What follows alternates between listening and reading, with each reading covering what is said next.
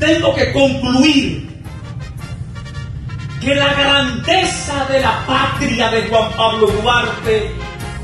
de Francisco del Rosario Sánchez, de Ramón Matías Media de los Trinitarios, que la grandeza de la patria del Luperón, que la grandeza de esta patria de abril es que nosotros, a diferencia de otros, hemos sabido de poner diferencias. Hemos sabido dejar de lado contradicciones que parecían insalvables, ponernos de acuerdo como un solo hombre, como una sola mujer, y aquellos hermanos que nos enfrentamos, tal como decía el teniente coronel Lora, hace 57 años, cada uno defendiendo una posición ideológica, cada uno situado en una balaustra,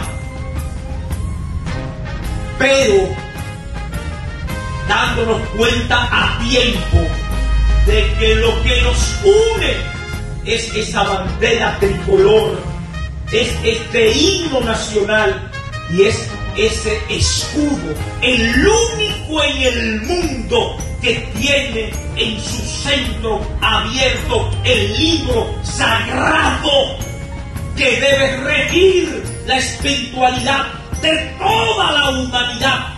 Y que mientras ese libro sagrado esté abierto en el centro de nuestra bandera, la dominicanidad, yo lo aseguro, no perecerá porque siempre estaremos iluminados por la divinidad de Dios. El escudo que dice Dios, patria y libertad, y en el centro la Biblia con el libro sagrado de Juan abierto. Y conoceréis